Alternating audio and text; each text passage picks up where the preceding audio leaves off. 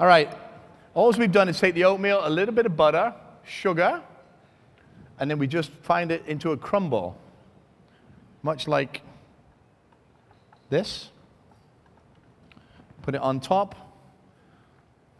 Goes into the oven. I do not have an oven, and I love the crispiness of this. I'm a big believer in lots of it. Goes in the oven, 375 degrees, 12 minutes. So the butter melts, the caramelization happens, and then all of a sudden we're going to put some uh, vanilla ice cream on top of it because it always goes good with vanilla and apple.